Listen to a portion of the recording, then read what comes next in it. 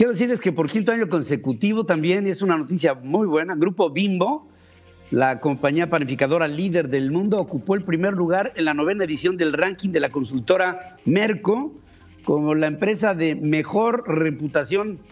También destacó como la compañía en categoría de las empresas de alimentos.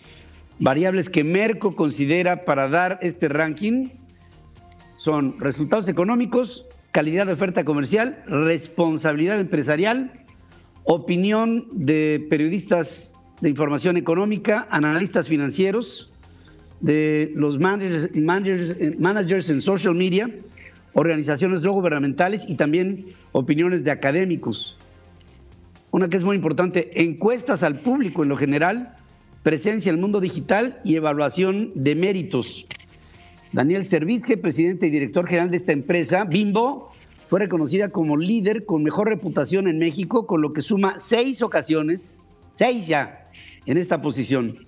José Manuel González Guzmán, director comercial de Bimbo México, comentó que en Grupo Bimbo, dice, se trabaja todos los días para mantener la confianza de nuestros consumidores y este resultado es el reflejo de los más de 70 mil colaboradores de Grupo Bimbo en México, quienes a diario, dice, ponen su granito de harina, no de arena, de harina, para alimentar a un mundo mejor.